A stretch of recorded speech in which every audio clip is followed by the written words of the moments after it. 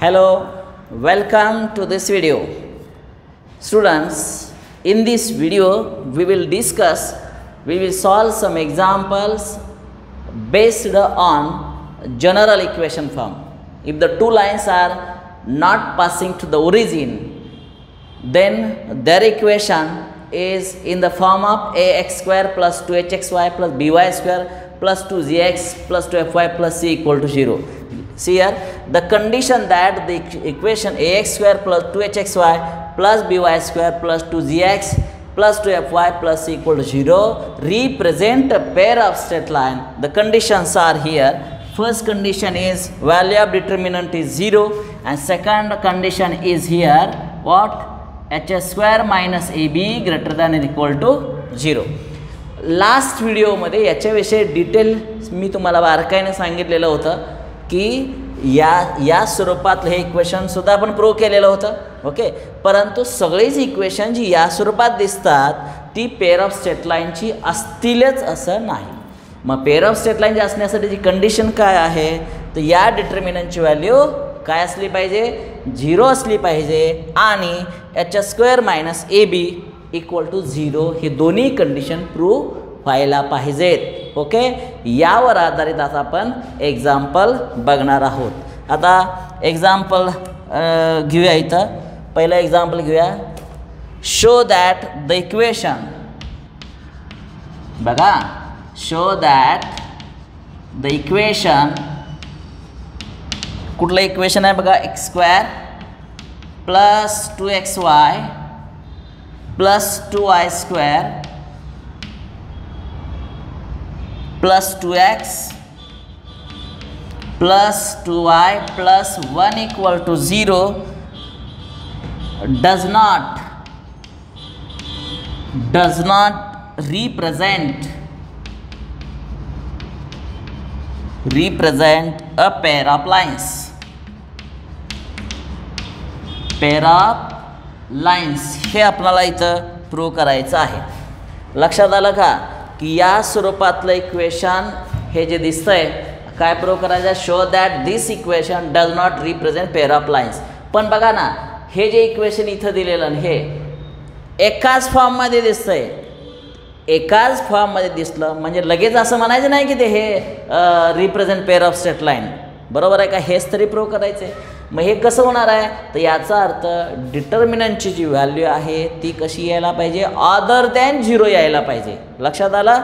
आणि H square minus A B हीच value काय ग्रेटर दॅन आर झिरो नको तर निगेटिव्ह काहीतरी येईल आलं लक्षात हे आपल्याला दोन दोन्ही चेक करायचं आहे सोल्युशन कम्पेअरिंग बघा comparing given equation equation with with B square plus 2hxy plus by square plus 2gx plus 2fy plus c equal to 0 we get बघा हे अतिशय पाठच पाहिजे तुमच्या A X square plus two H X Y plus B Y square plus two G X plus two two F Y लक्षात आलं का two F Y plus C equal to zero ह्याचं याच्याशी कम्पेअर केलं असता बघा एच्या जाग्यावर कोण बसणार आहे वन लिहितो इथं एची व्हॅल्यू वन पुढं टॉईस याच्या जाग्यावर इथं टू आहे याचा अर्थ यच मिळाला वन अजून बीच्या जाग्यावर दोन आहे पुढं टॉईस जी म्हणजे कोण आहे बघा बरं इथं टू याचा अर्थ जीच्या जाग्यावर वन पुढं टॉईस एफ किती येणार आहे इथं टू म्हणजे एफ इक्वल टू काय वन आणि सीची व्हॅल्यू वन सगळे अक्षर तयार झाले yes the given equation represent straight line if value of determinant is zero okay ते आपल्याला कंडिशन इथं हे पुसून टाकतात हे तुम्हाला कंडिशन माहिती आहे इथं म्हणूया given equation given equation represent a pair of straight lines if value of determinant is zero value of D equal to zero म्हणजे काय value of determinant is zero म्हणजे या डिटर्मिनंटमध्ये A H G H B F आणि काय G F C equal to zero he condition zero यायला पाहिजे आता खरोखरच झिरो येते का नाही त्यासाठी आपण इथं अजून काय काय पाहिजे condition H square minus A B काय पाहिजे greater than equal to zero pair of straight line आणि नाव ह्यातली ही पहिली पाहिजे चेक करूया व्हॅल्यू ऑफ दिस म्हणजे A H G H B F G F C this is equal to बोला एच व्हॅल्यू इथं काढले तुम्ही वन एच किती आहे बघा one A H Zee झीची value one one one one पहिली झाली पुढं वन टू वन दुसरी लाईन नंतर वन वन वन आता या डिटर्मिनंटची व्हॅल्यू एक्सपान्शन तुम्हाला करता येतं बरोबर आहे का पण एक्सपान्शन करताना जर तुम्ही डिटर्मिनंट टॉ टॉपिक तुम्हाला अगोदर झालेला आहे इलेवन्थमध्ये तर डिटर्मिनंटच्या ज्या विद्यार्थ्यांना प्रॉपर्टीज माहीत आहेत दोन रो समान असल्या तर value of determinant is zero माहीत आहे ना बघा की इथं रो नंबर पहिली आणि इथं रो नंबर तिसरी समान आहे not need to actually expansion of this so we can write here zero because R one equal to R two बरोबर का आता मग काय आलं बघा बरं ते व्हॅल्यू ऑफ डिटर्मिनंट इज काय आला सांगा झिरो आलं कम्पेअर करून बरोबर आहे का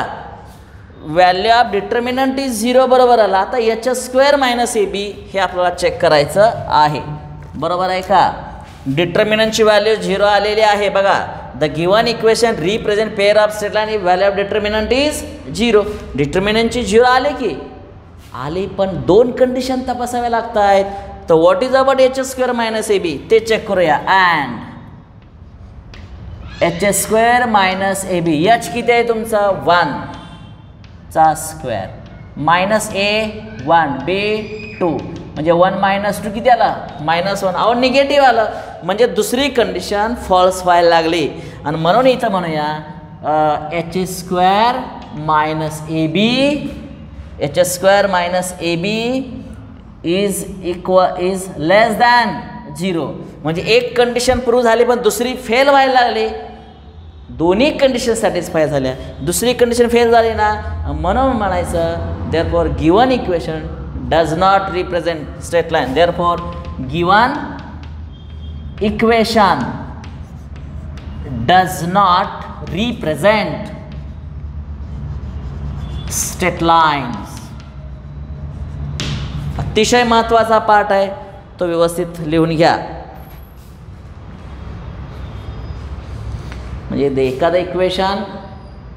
pair of straight line represent करतं की नाही हे आपण आता इथं बघितलेलं आहे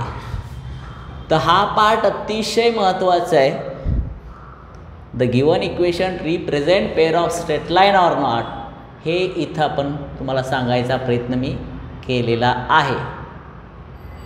okay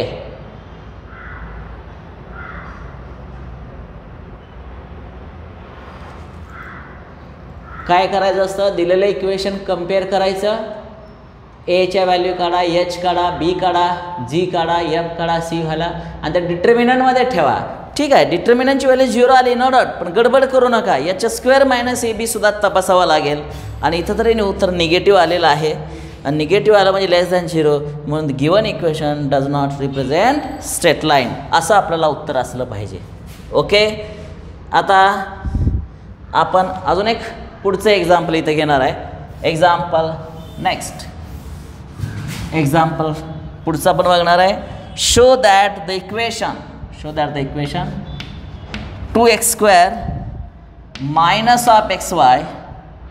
minus three y square minus six x plus nineteen y minus twenty equal to zero represent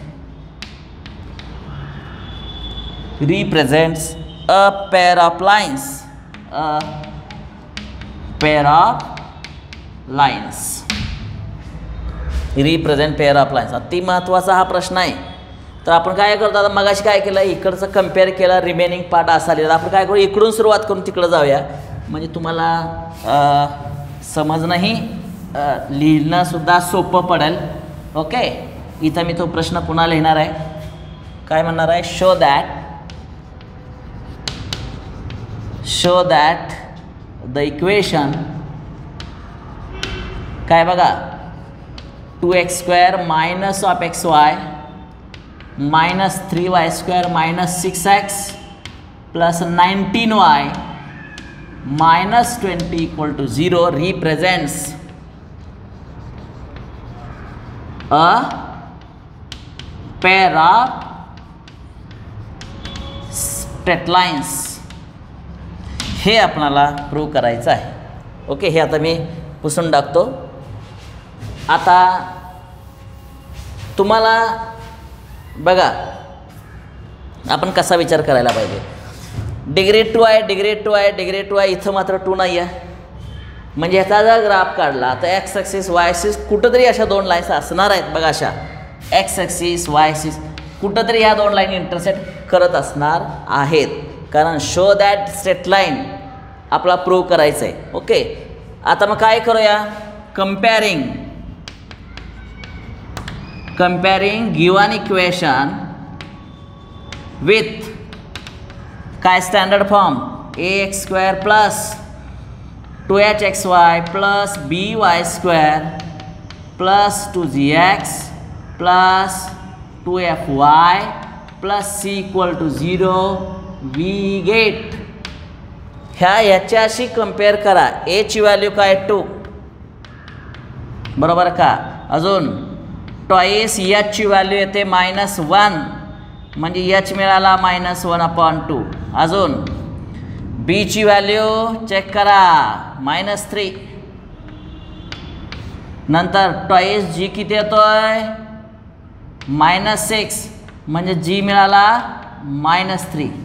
पुढं टॉईस यफ तो एकोणीस मिळाला यफ म्हणजे नाईन्टीन बाय टू आणि सीची व्हॅल्यू मायनस ट्वेंटी म्हणजे हे कम्पेअर करून झालेलं आहे बरोबर आहे पुढं काय आपला आपला रूल लिहिला पाहिजे आपला नियम लिहिला पाहिजे given equation represent straight line if value of determinant is zero बघा नाव given equation represent a pair of straight lines if value of d equal to zero आणि काय h square minus a b greater than equal to zero हे दोन्ही condition तपासाव्या लागतील बरोबर आहे करूया आता डी इक्वल टू हां a h g h b f हां जी एफ सी ह्यामध्ये ह्याची व्हॅल्यू काय दाखवायला पाहिजे झिरो दाखवली पाहिजे दिस इज इक्वल टू आता एची व्हॅल्यू तुमच्याजवळ तयार आहे two h minus one upon two b sorry g आहे ना तिथं जी मायनस थ्री पुढं मायनस वन अपॉन टू आता बीची व्हॅल्यू किती आहे मायनस थ्री एफची व्हॅल्यू आहे नाईन्टीन अपॉन टू आता पुढं इथं मायनस थ्री इथं नाईन्टीन अपॉन टू आणि सीची व्हॅल्यू दिसते तुम्हाला किती मायनस ट्वेंटी आता विचार करा हे जे दिसतंय ना हे डिटर्मिनंट आहे आणि या डिटर्मिनंटची व्हॅल्यू काढताना तुम्हाला प्रॉब्लेम काय होणार आहे सगळ्यांना उत्तर येणार आहे पण जरा थोडासा वेळ लागणार आहे का बरं कारण या लाईनला वन अपॉन टू दिसतं या लाईनला अपॉन टू अपॉन टू दिसतं इथं अपॉन टू दिसते तर तुम्हाला प्रॉपर्टीज ऑफ डिटर्मिनंट ज्या विद्यार्थ्यांना माहीत आहेत त्यांना हे काय एक्सपान्शन करताना काहीच अडचण येणार नाही आणि ज्यांना डिटर्मिनंटची प्रॉपर्टी वापरायचीच नाही ॲज युजल मेथडनुसार सॉल्व करायचं करा वेळ लागणार आहे उत्तर येईल झिरो पण वेळ लागणार आहे तुम्हाला आता प्रत्यक्ष याचं एक्सपान्शन करूया आता मी काय करतो पहिल्या रोमध्ये इथं टू दिसतंय इथं मायनस वन अपॉन टू पहिल्या रोमधून वन अपॉन टू कॉमन घेऊया दुसऱ्या रोमध्ये पुन्हा वन अपॉन टू कॉमन घेऊया तिसऱ्या रोमधून पुन्हा वन अपॉन टू कॉमन घेतो बरं का टेकिंग इथं लिहितो taking one upon two common from each row म्हणजे काय होईल पहिल्यातून वन अपॉन टू कॉमन काढलं ते लिहितो one upon two multiply by दुसऱ्या मधून काढलेलं इथं लिहूया तिसऱ्या मधून काढलेलं इथं लिहूया आणि काय राहील आता ते राहणारे नंबर व्यवस्थित करा आतले नंबर फक्त डबल लिहा कारण हा कॉमन काढलाय आहे म्हणून म्हणजे इथं दोन आहे ना इथं चार लिहा इथं मायनस वन लिहा इथं तीनच्या डबल सहा लिहा इथं वन लिहा इथं मायनस सहा लिहा इथं फक्त एकोणीस लिहा इथं मायनस सहा लिहा इथं एकोणीस लिहा इथं चाळीस लिहा येस आणि अशा रीतीनं तुम्ही हे कॉमन काढलेलं आहे आता ह्याचं एक्सपान्शन करता येतं आहे तुम्हाला this is equal to one upon eight बरोबर आहे का काय झालं वन अपॉन एट आणि याचं एक्सपान्शन कसं करायचं हे तुम्हाला माहीत आहे कसं करायचं बघा फर्स्ट रो चार घ्या इन टू व्हॅल्यू ही पहिली रो धरायची नाही पहिली रो धरायची नाही पहिला कॉलम धरायचा नाही राहिलेले चार नंबर्स आठवते का बघा मायनस सहा इथं नाईन्टीन इथं नाईन्टीन आणि इथं मायनस फोर्टी हिता जाऊन मध्ये जाऊन बदला नंबर निगेटिव्ह धरायचा असतो पण तो निगेटिव्ह आणि हा मूळचा मायनस वन म्हणजे प्लस वन पुन्हा या हिरो धरू नका ही धरू नका वन इथं नाईन्टीन इथं मायनस सिक्स आणि इथं मायनस फोर्टी नंतर जाऊया लास्ट मायनस सिक्स पुन्हा या डिटर्मिनंटमध्ये ही लाईन ही लाईन धरू नका वन इथं मायनस सिक्स इथं मायनस सिक्स आणि इथं नाईन्टीन अशा रीतीने हे एक्सपान्शन करून झालेलं आहे पुढं अतिशय महत्त्वाचा पाठ आहे गडबड करू नका डी इज इक्वल टू म्हणजे व्हॅल्यू ऑफ डिटर्मिनंट आपण काढायला लागलेलं आहे आता वन अपॉन एट बघा one upon eight and two this four multiply by आता हे जे ब्रॅकेट आहे का नाही सहा चौक चोवीस दोनशे चाळीस minus minus plus minus nineteen into nineteen बरोबर आहे का तर याचा प्रॉडक्ट सिम्प्लिफाय करून येणार आहे सबट्रॅक्शन करून मी इथं डायरेक्ट लिहितो इथं मायनस वन ट्वेंटी वन पुढं प्लस वन इंटू ब्रॅकेटमध्ये मी त्याचा रिझल्ट लिहिणार आहे वन फिफ्टी फोर आणि लास्ट बघा मायनस सिक्स इंटू ब्रॅकेटमध्ये तोही रिझल्ट मी डायरेक्ट लिहिणार आहे मायनस फिफ्टी फाईव्ह पुढं d equal to one upon eight ब्रॅकेटमध्ये हे पुन्हा सॉल्व केल्यानंतर तुमच्या असं लक्षात येईल की या नात मल्टिप्लाय करा एकनं मल्टिप्लाय करा हे मल्टिप्लाय करा आणि तो उत्तर सगळ्याचं झिरो येणार आहे बाय सिम्प्लिफाय करून आणि डी इक्वल टू काय तयार झालं झिरो आलेला आहे आता det value of determinant zero आलं लगेच पेअर ऑफ सेट लाईन म्हणू नका अजून h s square minus a b check करायचं आहे and h s square minus a b is equal to h किती आहे बघा बरं तुमचा इथं मायनस वन आपण टू येस मायनस एची व्हॅल्यू इथं आहे कुठेतरी काढले टू बी ची व्हॅल्यू मायनस थ्री म्हणजेच किती one by four plus six आता इथं कुठं झिरोची शक्यता तरी आहे का हो नाही पंचवीसशे चार येत आहे पंचवीस चार छे पंचवीसशे चार twenty five by four which is greater than zero therefore याला नंबर आपण एक देऊया याला नंबर दोन देऊया from one and two we can say that given equation represent pair of straight line given equation represent pair of straight line अतिशय अतिशय महत्त्वाचे एक्झाम्पल आपण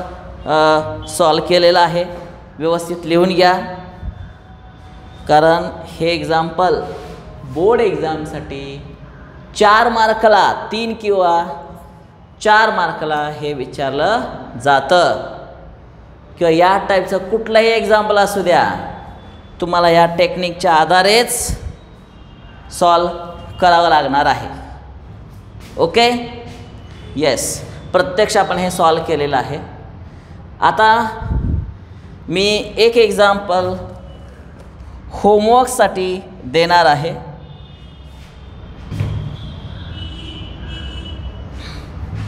बरं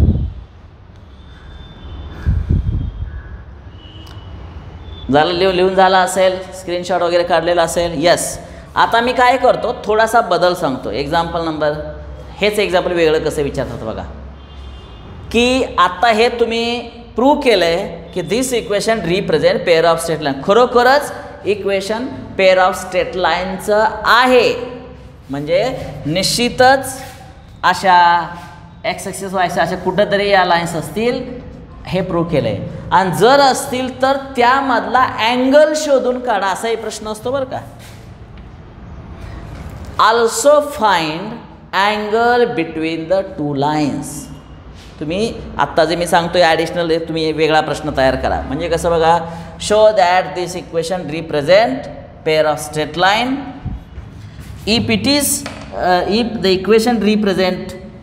straight line किंवा इथं म्हणून also find angle between two lines इथं म्हणूया also find angle between two lines ह्या दोन पार्ट आहेत आपल्याला प्रथम सांगितलं की रिप्रेझेंट स्टेट लाईन प्रूव्ह करा यस हे एवढं कष्टानं आपण प्रूव्ह केलं म्हणजे लाईन्स आहेत मग लाईन्स आहेत तर त्यामधला अँगल शोधून काढा मग अँगल शोधून काढायचं टेक्निक तुम्हाला माहिती आहे सांगा बरं मागच्या रिमार्कच्या वेळेस मी सांगितलेलं आहे मागच्या व्हिडिओमध्ये मी सांगितलेलं आहे let theta be the acute angle between lines म्हणजेच काय tan theta equal to two under root h square minus a b upon a plus b बरोबर का यामध्ये फक्त व्हॅल्यू ठेवायच्या आहेत आता हे टू तसाच under root h square minus a बीची व्हॅल्यू सारखी सारखी काढत बसू नका इथं काढले बघा ट्वेंटी फाय बाय फोर ते इथं लिहितो twenty five by four upon a plus b a किती आहे बघा बरं हे two minus three yes this is equal to काय येईल सांगा बरं हे स्क्वेअर रूट आहे म्हणजे फाय बाय टू टूला टू कट म्हणजे फायू अपॉन मायनस वन म्हणजे उत्तर फक्त फाईव्ह आता ॲक्च्युली हे मायनस फाईव्ह येतं आहे पण मॉड्युलस आहे कन्सिडर ॲक्युड अँगल ओनली त्यामुळं टॅन थिटा इक्वल टू काय दिसेल पाच येईल theta equal to tan inverse of five बास एवढंच तुम्ही फक्त म्हणायचं आहे असले प्रश्न तुमच्या टेक्स्टबुकमध्ये आहेत आलं लक्षात आता तुम्ही जे रेफरन्स बुक वापरता वेगळ्या प्रकारचे किंवा स्टेट बोर्ड घ्या एन सी आर टी काय घ्या असलंच असणार आहे फक्त बदल कुठं असेल इथं एक्सक्वेजो कोएफिशियन वेगळा असेल इथं वेगळा असेल इथं वेगळा इथला वेगळा इथला वेगळा इकडं कम्पेअर करण्याचे मेथड समानच रिप्रेझेंट स्टेटलाईन लाईन काढायचं टेक्निक समानच समजलं का मग मगापासून जे आपण पार्ट बघतो हे वेगळ्या प्रकारचे टाईप सांगितलेले आहेत बरं का ओके आता आपण काय करूया दोन ह्याच्यामधला अँगल आपण शोधून काढलेला आहे ओके होमवर्कसाठी एक्झाम्पल जे आहे तर ते मी आता मी इथं लिहिण्याचा प्रयत्न करतो आहे बघा होमवर्कसाठी example homework two x square plus x y इथं प्लस एक्स वाय घेतो बरं का minus y square minus y square plus x इथं प्लस एक्स घेऊया वायचा कोएपेशन आहे ते प्लस फोर वाय घेऊया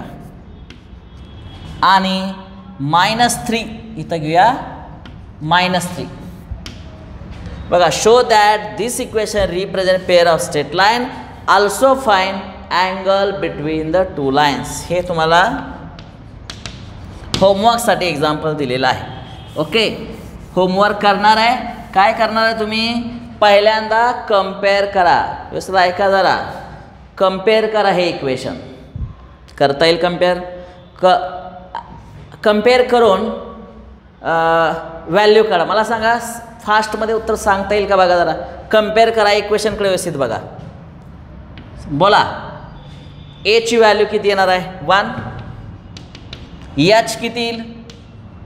बघा ते टॉईस यचला आपण इथं वन म्हणतो यच एक मिळणार आहे वन बाय टू बी किती मिळणार आहे minus one twice g one म्हणजे जी किती मिळाला one by two twice f किती मिळाला फोर म्हणजे यप किती मिळाला टू आणि सीची व्हॅल्यू मायनस थ्री कम्पेअर करता येते की पुढं पुन्हा तो रिमार्क लिहायचा the given equation represent straight line a value of determinant is zero बरोबर का value of determinant is zero आणि मग बघा मी हिंट फक्त सांगतोय given equation represent pair of सिटला a value of this determinant is zero हां ए एच जी आठवत आहे का a h g a handsome Ganesh having beautiful face going for college याचं वैशिष्ट्य बघा इत जर आपण डायगोनली घडी घातली बघा असे तर हा एच इथं पडतोय हा जी इथं पडतो हा इथं पडतोय सिमेट्री बरं का लक्षात असू द्या त्यावरनं हे वाक्य तयार केलेले आहेत बर तर या डिटर्मिन ह्या व्हॅल्यू ह्यामध्ये ठेवा डिटर्मिनंटची व्हॅल्यू झिरो आहे का चेक करा एवढंच नव्हे तर h square minus a b he greater than equal to zero हे सुद्धा तपासावं लागेल तुमच्याकडे जे ओल्ड पुस्तक आहेत ओल्ड सिलॅबसची पुस्तकं आहेत तर त्या टेक्स्टबुकमध्ये ही कंडिशन दिलेली नव्हती त्यांनी बरं का ती असायला पाहिजे तर जे पुस्त जे विद्यार्थी ओल्ड टेक्स्टबुक वापरत आहेत किंवा ओल्ड सिलेबस काही एक्झाम्पल रेफर करतायत show that represent straight line फक्त एवढंच होतं व्हॅल्यू ऑफ डिटर्मिनंट झिरो दाखवलं की इज अ स्टेट लाईन असं होतं पण आता ॲडिशनल कंडिशन न्यू सिलेबसमध्ये ही घेतलेली आहे यस कारण हे तुम्हाला माहीत आहे का ह्याचा अर्थ मी सांगितलं काय घ्यायचं तर थेरम प्रूव्ह करताना मी सांगितलेलं आहे ओके समजा याची व्हॅल्यू झिरो आली तर रिप्रेझेंट स्टेट लाईन आणि हे पॉझिटिव्ह आलं तर रिप्रेझेंट स्टेट लाईन आलं लक्षात समजा याची व्हॅल्यू निगेटिव्ह आली तर does not represent straight line म्हणायचं आणि पुढे जायची गरजच नाही लाईनच अस्तित्वात नाहीत मग तिथला अँगल कशाला काढायचं आहे म्हणजे आणि सांगितलं आहे बघा also find angle between the two lines मग फॉर्म्युला कुठला टॅन थिटाचा काय formula two under root h square minus a b upon a plus b आणि provided that a plus b not equal to zero आपण acute angle काढतोय बरं का मगाशी नाही मगाच्या एक्झाम्पलमध्ये मायनस येत होतं बघा तर कन्सिडर ॲज अ पॉझिटिव्ह कारण ॲक्युड अँगल आहे ॲक्वूड अँगल हा नेहमी पॉझिटिव्ह असतो तर अशा रीतीनं या स्वरूपातलं एक्झाम्पल आपण हे होमवर्कला दिलेलं आहे फायनल उत्तर तुम्ही इथं काढायचं आहे यस आता मी काय करतो हां आता हे एक्झाम्पल त्याला वेगळ्या पद्धतीनं कसं विचारलं जातं ते सुद्धा आपण बघणार आहे बघा जरा शो दॅट आता नाहीच आहे द हे इक्वेशन मी सांगतो तुम्हाला स्टेट लाईनचंच आहे सांगितलं म्हणजे काय स्टेटलाईन आहे सांगितलं याचा अर्थ डिटर्मिनंट व्हॅल्यू काय झिरोच आहे लक्षात येते का मग मला सांगा द इक्वेशन इथं लिहितो वेगळा प्रकार बघ असले इक्वेशन्स हे एक्झाम्पल तुमच्या टेक्स्टबुकमध्ये आहेत the equation this represent pair of straight line then find find value of k केची व्हॅल्यू शोधून काढा हा या टाईपचे एक्झाम्पल तुमच्या टेक्स्टबुकमध्ये भरपूर बघायला मिळतील हा एक पाठ पूर्ण करतो हे मी टेक्निक सांगणार आहे बरं का हे ॲक्च्युली तुम्हाला सॉल्व करायचं आहे मला सांगा this equation represent straight value of k कुठं आहे के तर केची पोझिशन कुठली कुठली असू शकते बघा एक दोन तीन चार पाच आणि सहा सहा टर्म्स आहेत म्हणजे सहा प्रकारची एक्झाम्पल तयार झाली आता मी काय करतो समजा इथंच केली तो बरं का बरोबर का इथं लिहिलं आता मला सांगा हेच एक्झाम्पल परीक्षेला दिलं आहे ओके केची व्हॅल्यू काढायला पाहिजे येस कसं करणार comparing this equation with the standard form बोला एची व्हॅल्यू के मिळाली एच किती मिळाला वन बाय टू बी मिळाला मायनस वन पुढं जी किती मिळाला